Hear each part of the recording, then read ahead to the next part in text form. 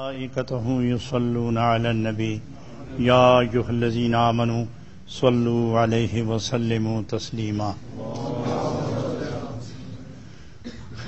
الصلاة والسلام عليك يا رسول الله وعلى آلك وأصحابك يا شفيع المذنبين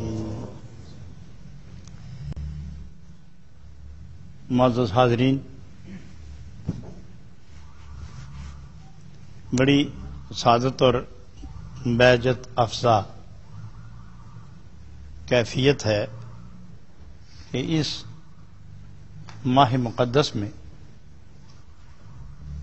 جہاں ہر جگہ ذکر اللہ اور ذکر نبی، ارشادات قرآن اور فرمودات محمدی کے جلووں سے بیان کرنے والا اور سننے والے تمام کے سینے روشن ہو رہے یہ سارا مہینہ تصوف کی جلوہ گری کا مہینہ ہے۔ ازبل تا آخر یہ انتیس یا تیس دن یہ تصوف کا زمانہ ہے۔ میں اصل موضوع سے ہٹنا نہیں چاہوں گا۔ لیکن یہ محبت والوں کی یہ مختصر جاندار اور حسین اور پر پرکشش محفل کا تقاضا ہے کہ میں کچھ تمثیلات بیان کیے بغیر میں نظر کتاب میرے اور آپ کے درمیان سلسلہ گفتگو کی بقا کا وسیلہ بننے والی یہ کتاب اسے مصنوی مولانا روم کہتے ہیں۔ قرآن عظیم کے بعد احادیث مصطفی صلی اللہ علیہ وسلم کے بعد دنیا علم و عرفان میں مصنوی کو جو مقام حاصل ہے، اسے اہل دل اچھا جانتے حضرت جلال الدین رومی، یہ ان کا لقب ہے۔ اصل نام ان کا محمد ہے۔ یہ حضرت ابکر صدیق رضی اللہ تعالی عنہ کی اولاد میں سے ہیں۔ جلال الدین۔ یہ آپ کا لقب ہے۔ آپ کے علمی فیضان اور جلال نے تبھی استقلال اور تمانیت نے جس طرح رخ کیا، پہاڑوں کے کلیجے جر گئے۔ اور جس طرف آپ نے رخ کیا، دل متوکل ہوئے، زبانیں شاکر ہوئیں روحیں بیدار ہوئیں، نفس مطمئن ہوا اور بچھڑا ہوا انسان اپنے مالک کو پانے میں کامیاب ہوا۔ آپ اصل میں بلخ کے رہنے والے تھے اور آپ کے والد گرامی حسین، یہ خاصم شاہ جو افغانستان سے لے کر عراق تک عراق تک یہ تمام ایک ہی سلطنت تھی اور اس سلطنت کے وہ سلطان بادشاہ اور حاکم تھے۔ جلال الدین رومی کی والدہ ان کی صاحبزادی تھی۔ تو بادشاہ نے جب ان کا علمی مرتبہ اور تصوف کی جلالت اور لوگوں میں ان کا احترام و تمکنت و عظمت کا شعرا دیکھا تو آپ نے انتہائی حسینہ جمیلہ، بے مثل خوبصورت، شکل کی بھی، عقل کی بھی، سیرت کی بھی، صورت کی بھی بے مثال اپنی صاحبزادی کا نکاح سے کروا دیا۔ اور ان کے اس بٹن بٹن اطہر سے، اس کے پاک نفس سے حضرت جناب محمد جلال الدین رومی پیدا ہوئے۔ وہاں سے ہجرت فرمائی تو آپ نیشا پور آئے۔ نیشا پور عراق و ایران کی سرحدوں پر ایک خوبصورت ریاست ہے۔ وہاں آپ نے کچھ عرصہ قیام کیا، طبیعت اجاٹ ہوئی۔ مدینہ منورہ، مکہ مکرمہ، شام، عراق، نیشاپور، افغان اور برخ کے علاقوں میں جس قدر دنیا علم و عرفان کے سورج تھے، سب سے علمی کرنیں حاصل کی اور اپنے زمانے کے بے مثال، بے تاج بے تاج بادشاہ اور بے مثال عالم ہوئے۔ وہاں جب نیشاپور میں ٹھہرے تو اپنے والد گرامی سے عرض کیا کہ یہاں دل نہیں لگتا اور والد گرامی فرمانے لگے، بیٹے، میرے بھی یہی کیفیت ہے۔ چلو یہاں سے نکلتے ہیں، سیدھے کونیا چلے آئے۔ جب کونیا آئے تو وہیں کے ہو کے رہ گئے۔ تو جوانی کا وقت تھا، جوانی کی عمر تھی، تو آپ نے تدریج شروع کر دی۔ حدیث پاک پڑھانا، قرآن پاک پڑھانا، فقہ پڑھانا، اصول پڑھانا، صرف پڑھانا نو پڑھانا، منطق پڑھانا، تمام متداولہ علوم، پچاس قسم کے علوم کے آپ عالم تھے اور وہ آپ پڑھاتے چلے گئے۔ اور آپ نے پھر ایک کتاب لکھی، اس اشار میں ایک کتاب لکھی، اس کتاب میں پچاس ہزار اشار لکھے۔ وہ ایک کتاب ہے جس میں پچاس ہزار اشار ہے لیکن طبیعت میں جولانی کیفیت، جلن، تڑپ، پھڑک، سوز، گداز، جیسے کہ کسی مہمان محبوب کی آمد ہو اور آدمی بے قرار ہو، ابھی تک اتنے شہرا آفاق عالم ہونے کے باوجود اطمینان میں جو سر نہ آیا۔ ادھر حضرت شمس تبریز یہ گلی گلی پھر رہے تھے کہ کوئی ملے کہ امانت دوں۔ میں بھی تھک گیا ہوں امانت سنبھالے سنبھالے۔ کوئی ملے تو حضرت شمس الدین تبریز رحمت اللہ علیہ کو ایک درویش کامل صاحب اسرار آگاہ حق نگاہ نے حق آگاہ نے چپکے سے فرمایا کہ جس کو تم تلاش کرتے ہو جہاں نہیں ملے گا۔ تمہیں کونیا جانا پڑے گا۔ کونیا جانا پڑے گا اور وہ بھی ادھر بے قرار ہے تم ادھر بے قرار ہو جاؤ۔ حضرت شمس الدین تبریز اٹھے، کشاں کشاں، دوڑتے، اٹھتے، خیزاں، افتاں، بھاگتے، بیٹھتے، لیٹتے، جاگتے، دوڑتے ہوئے آپ جا رہے تھے کہ میں اپنی امانت اس کے حوالے کر دوں۔ اور میں اکیلا ہوں تصوف میں، اس اپنی اپنے رنگ و روپ میں، اپنی کیفیت و سرور میں تنہا ہوں۔ مجھے صرف ایک ہی مرید چاہیے جو مشرق سے لے کر مغرب تک میرے اس نورانی فیض کو تقسیم کر دے۔ مجھے دو مرید بھی نہیں چاہیے، ایک ہی چاہیے۔ اور وہ ایک بھی ایسا ہو کہ جو سارے زمانے کے لیے کافی ہو۔ تو حکم ہوا کہ پھر کونیا جاؤ۔ وہ کونیا پہنچے۔ ادھر حضرت جلال الدین رومی اس انتظار میں تھے کہ آئے کوئی۔ دل کو جلائے۔ کوئی محبت کا شراب پلائے۔ کوئی نشہ چڑھائے۔ کوئی پردے ہٹائے۔ تو مجھے میرے محبوب سے ملائے۔ ادھر یہ دعا کرتے گئے کہ مجھے میری مرضی کا مرید ملے۔ میں سارا خزانہ اس کے حوالے کروں۔ ملاقات ہوئی۔ اللہ غنی۔ حضرت شمس الدین تبریز نے پہلی ہی نظر میں ان کو اپنا محبوب بنا لیا اور سلسلے میں داخل کرنے کے بعد نقش بندی سلسلے میں، قلندری سلسلے میں داخل فرمانے کے بعد بلا تعمل تاخیر دیر، سارے کا سارا روحانی فیض حضرت محمد جلال الدین رومی کے سینے میں اتار دیا۔ حضرت، یہ کبھی نظر سے فیض چلتا ہے، کبھی زبان سے۔ کچھ کہا تو گل کھل گیا، یا دیکھا تو بستیاں آباد ہو گئیں، یا اس کو پکڑ کے سینے سے لگایا، سارے حجابات ہٹائے۔ اور مقام عرفہ و اعلیٰ پہ فائز کر دیا۔ جیسے سید عالم صلی اللہ علیہ وسلم نے فرمایا، ما سب اللہ فی قلبی سبب تو فی قلب ابی بکر صدیق رضی اللہ تعالی عنہ، جو اللہ نے میرے سینے میں ڈالا ہے، میں نے سارے کا سارا صدیق اکبر کے سینے میں ڈال دیا ہے۔ تو وہ یہ سینہ بسینہ فیضان یوں تقسیم ہوتے ہیں کہ جس طرح ادھر صدیق اکبر کے سینے میں فیضان نبوت منتقل ہوا اسی صدیق اکبر کی اولاد میں سے جلال الدین رومی کے سینے میں شمس الدین تبریزی نے سارا فیضان اتار دیا۔ حضرات گرامی، اب پڑھانا، پڑھنا جل سے جلوس، تقاریر اور ہزاروں اور سینکڑوں کے اجتماع میں درس و دروس کا سلسلہ، یہ تو ہوا ختم۔ اب پریشانی، حیرانی اور طلب بڑھتی چلی گئی، آگ لگتی گئی۔ طلب بڑھتی گئی طلب پھڑک کا جو سلسلہ شروع ہوا۔ اللہ غنی۔ حضرات اس این اس موقع پر۔ حضرت شمس الدین تبریز حالات دیکھے تو غائب ہو گئے۔ وہ کونیا سے نکلے، دمشق چلے گئے۔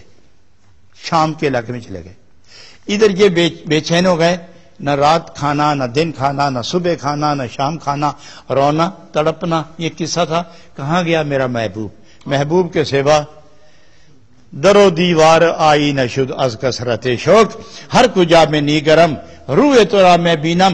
محبت جب انتہا پر پہنچ جائے تو پھر در و دیوار شیشہ بن جاتے ہیں اور اس میں بھی محبوبی کی صورت نظر آتی ہے۔ اور جب اس طرح بڑھتا گیا، شوق محبت کی تو جولانیاں بڑھتی چلی گئیں، طوفانوں ہی جان بڑھتے چلے گئے۔ تو لوگوں نے چاہا کہ ہم حضرت شمس الدین تبریز کو ہم دمشق سے واپس لائیں۔ باہر ایک دفعہ بڑی مشکل سے راضی کر کے ان کو لایا گیا۔ لوگ ناراض تھے کہ ہزاروں انسانوں کو درس قرآن و درس حدیث دینے والا اور محبت کی میں پلانے والے کو کس طرح مدوش و کلندر مجذوب کر کے رکھ دیا ہے کہ بات کرو، ایک تو جواب دیتے ہیں، وہ کوئی اور جو ہماری سمجھ سے بالا تر ہوتا ہے۔ الغرض لوگ ان کے مخالف مگر آئے۔ اور حضرت شمس الدین تبریز پھر آ کے ایسے گم ہوئے کہ کسی کو ساری زندگی نہیں ملے۔ بعض نے کہا کہ مولانا روم کے صاحبزادے نے ان کو قتل کر دیا تھا۔ اور بعض کہتے ہیں کہ وہ از خود غائب ہو گئے تھے۔ لیکن باہر کہ اس قسم کی تاریخی شواہد، اس قسم کے تاریخی شواہد موجود ہیں، لیکن اس دوران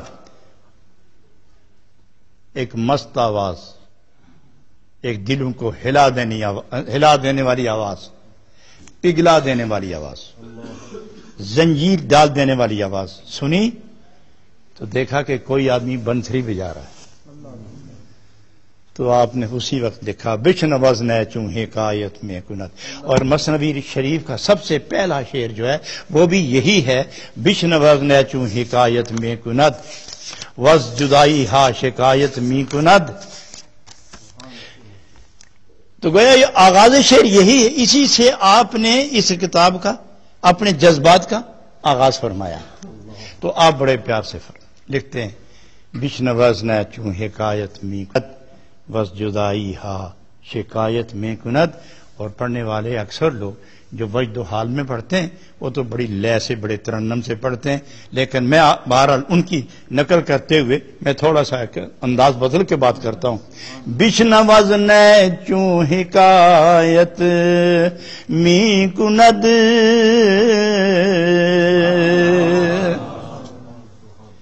بچنوز نئے چوں حکایت، می کند وز جدائی ہا شکایت، می کند وز جدائی ہا شکایت، می کند سبحان اللہ و بحمدہی شاد فرماتے ہیں۔ گوشے ہوش رکھنے والوں کلام سمجھنے میں امتیاز برتنے والوں عقل سے ہی رکھنے والوں ذرا غور تو کرو۔ سلیم الفطرت مزاج، لوگ، میں تمہیں دعوت دیتا ہوں سو تو کرو۔ یہ بنسری کی آواز ہے، یہ کیا کہہ رہی ہے؟ کسی نے کہہ دیا۔ بینسری کی آواز تو نہیں؟ اگر بینسری کی آواز ہے تو ہم چھوڑتے ہیں بینسری کو۔ وہ بولتی کیوں نہیں؟ یہ تو جس نے پھوک ماری، وہ اس کا درد ہے، وہ رو رہا ہے۔ جس نے پھوک ماری، وہ رو رہا ہے۔ تو آپ نے فرمایا، اگر وہی رو رہا ہے تو پھر میں یہ سوٹی دیتا ہوں، کہو کہ منہ کے ساتھ لگا کے پھوک مارے، ہم اس کے رونے کا اندازہ کر لیں گے۔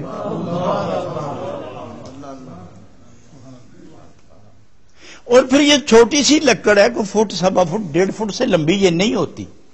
اور ایک انچ موٹی ہوتی ہے، ڈیڑھ فٹ لمبی ہوتی یہ اس درخت میں سے جس کا وہ تنا بہت صاف ہو باریک چھلکا ہو، تنا بہت صاف ہو، داغدار نہ ہو، اس کو کاٹتے ہیں اور سائے میں خشک کرتے ہیں۔ دھوپ ہی نہیں لگنے دیتے۔ سائے میں خشک کرتے ہیں۔ تو فرمایا، بات سنو، اگر یہ بولنے میں پھونک مارنے والے کی آواز ہے تو ہر لکڑی کو پھونک کیوں نہیں مارتا؟ پھر یہ دو لکڑی ہیں، ڈیڑھ فٹ دونوں لمبی، دے ایک ایک ایک ایک انچ دونوں موٹی، ایک دونوں کا رنگ لگا ہوا ہے۔ مگر ایک کو بنسری کہتے ہیں اور ایک کو ویسے ہی ڈنڈا کہتے ہیں۔ اس دوسرے کو کیوں یہ دونوں ایک ہی درخت سے ایک ہی شاخ کے دو ایسے ہیں۔ ایک بنسری ہے اور ایک ڈنڈا ہے۔ لمبا رول سا پکڑا ہوا ہے۔ ڈنڈا پکڑا اور ایک بنسری ہے۔ جو دیکھتا ہے بنسری، جو دیکھے بجانی آئے کہ نہ آئے، مگر جانتا ہے بنسری ہے۔ اور دوسرے کو ہاتھ لگا کے کہتا ہے ڈنڈا ہے، اور دوسرے کو پکڑ کے کہتا ہے بنسری ہے۔ ارے تو بنسری کب بنی؟ اللہ۔ بنسری کب بنی ہے؟ اور تو بنسری بنی تو پتا چلا نا کہ تو بچھڑ کے آئی ہے کہیں سے؟ کب بنی؟ تو یہ کاریگر لوگ خوش کر کے تو برمے کے ساتھ سوراخ کرتے سوراخ، اسی کے اندر سوراخ کرتے ہیں، پھیرتے ہیں اور وہ آہستہ آہستہ آہستہ کاٹتا ہوا وہ برما دوسری طرف نکلتا ہے اور اندر سے صاف ہو جاتی ہے۔ پھر اس کو آگے، پیچھے، اوپر، نیچے، دائیں، بائیں، جہاں مناسب ہوتا ہے، سوراخ نکال لیتے ہیں اور منہ میں رکھنے کے لیے اس کا ایک ایک شکل مخروتی بنا لیتے ہیں۔ جب وہ پھونک مارتا ہے تو اس میں سے آواز آتی ہے۔ اب وہ کہتی کہ اے مجھے اپنے ہاتھ میں پکڑنے والے آدمی تو مجھے قید کر کے رکھتا ہے، لیکن میرا درد سن، تو مجھے محبوب سے کاٹ کے لایا ہے۔ جب تک میں اپنے محبوب سے نہ ملوں گی، اس وقت تک میں پکاتی رہوں گی۔ اب اس لیے جناب رومی فرماتے ہیں، بچن وزن چوں حکایت می کند بچن وزن چوں حکایت می کند وز جدائی ہاں شکایت می کند پکڑی، تو نے اپنے ہاتھ میں پکڑی ہے، لیکن وہ رو رہی ہے، کہاں ہے میرا محبوب؟ اب اس کی تشریحات میں جو جو حضرات مصنوی کے شرح لکھتے ہیں، چار شرح اس کے موجود ہیں۔ بڑے جامع قسم کے۔ ان چاروں نے لکھا ہے کہ یہ بنسری سے مراد روح ہے۔ بنسری سے مراد روح ہے۔ اور پکڑنے جس جس نے ہاتھوں میں پکڑ رکھا ہے، اس سے مراد جسم ہے۔ جسم اور جگہ کا، روح اور جگہ کی۔ روح قرب خدا کی لذتوں سے آشنا مخمور رہنے والی۔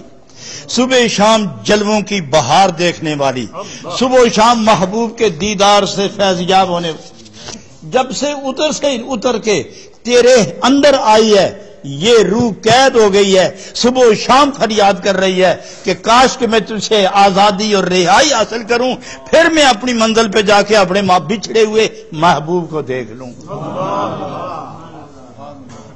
حضرات گرامی، ایک تشریح اور بھی ہے۔ یہ اگرچہ آپ کو ان شہروں میں نہیں ملے گی، یہ جو چار شہر میں نے گنے، ان چار میں یہ آپ کو نہیں ملے گی، یہ میری ذاتی تحقیق ہے۔ بے شمار میں نے تصوف کی کتابیں پڑھنے کے بعد اس پر جو تفریح بٹھائی ہے، وہ میں عرض کرنے لگا ہوں۔ وہ یہ ہے کہ بنسری بنی کب، جب سوراخ سوراخ ہوئی۔ پاک پاک ہو گئی۔ جب اندر کوئی چیز پردے کی نہیں رہی۔ برما پھر گیا، اوزار پھر گئے، اندر سے پاک ہو گئی، سوراخ سوراخ ہو گئی، پھوک ماری تو درد کی آواز نکلی۔ تو کہنے والا یہ کہتا ہے کہ اگر لکڑی اندر سے صاف ہو کے پاک ہو جائے اور پھوک مارو تو درد کی آواز آئے، تو تیرے اندر بھی اللہ ہو کا عشق حق کا۔ برما پھر کے تجھے بھی پاک کر دے، تو کیا تیرا بال بال سے بھی اللہ اللہ کی آواز نہ آئے گی؟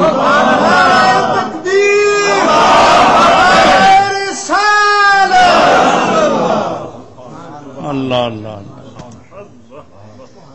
اور اس مقام پر روح نے، بنسری نے بڑے پکار کے کہا اور حافظ سیراجی رحمت اللہ علیہ اس درد کی نقل بندی کرتے ہیں۔ آپ فرماتے ہیں، خرما روز کزی، منزل ویرام بردم۔ خرما روز کزی منزل ویران بردم، راحت جان طلبم وز پہ جانا بردم۔ اس دن سے زیادہ خوشی کب ہوگی کہ جب میں آزاد ہو کے اپنے محبوب کے قدموں میں لپٹ جاؤں گی؟ الغرض یہ ساری جو کہانی ہے یہ روح اور جسم کی ہے۔ اور جناب مولانا روم رحمت اللہ علیہ نے انسان کو انسانیت کے درجے پر فائز دیکھنے کے لیے بینسری کا ذکر درد چھیڑ کر یہ سمجھانا چاہا تھا کہ تم بھی اللہ کے ذکر اور عشق رسول میں ڈوب کر ایک مر کے نئی زندگی حاصل کرو تاکہ جو پردے ہیں یہ ختم ہو جائیں جو رکاوٹیں ہیں یہ دور ہو جائیں جو حجاب ہے یہ ختم ہو جائے جو کسافت ہے یہ دور ہو جائے اور جب تم بالکل پاک ہو جاؤ گے صاف ہو جاؤ گے تو ازلی پاک کی بارگاہ میں تم رسائی حاصل کر لو گے۔ اور جب درمیان میں سے پردے اٹھ جائیں گے تو محبوب حقیقی آپ کو اپنے جمال کا دیدار عطا فرما دے گا۔ بشن وزن چوں حکایت وز جدائی ہا شکایت میں کنت ابتدا کی یہ ابتدا ہے۔ آج اسی پر میں اکتفا کرتا ہوں۔ کل انشاءاللہ اس اسی اشار کے جو تشریحی طور پر آگے لکھا گیا انشاءاللہ، اس کی تحقیق و تشریح ہوگی۔ دروشی پڑی اللہ صلی علی سیدنا محمد وعلا علی سیدنا محمد وبارک وسلم وصلی علیہ۔ اور اگر تراوی کا سلسلہ نہ ہوتا رمضان نہ ہوتا تو میں بات اور بھی چھیڑ کے لمبی کرتا وہ اس لیے چاہتا ہوں کہ بات تھوڑی ہو مگر اچھی ہو۔ لڈو اچھا بنا ہوا تو ایک بھی کافی ہے۔ الحمد للہ رب العالمین۔ وسلاۃ وسلام علی سید الانبیاء والمرسلین وعلى آلہ وصحابہ اجمعین۔ اللہم انی ظلمت نفسی ظلما کثیرا کبیرا ولا یغفر الذنوب الا انت فاغفر لی مغفرۃ من عندک وارحمنی۔ ان انکا انت الغفور الرحیم وصل اللہ تعالی علی حبیبہ محمد واله وصحبه اجمعین برحمتک یا ارحم الراحمين.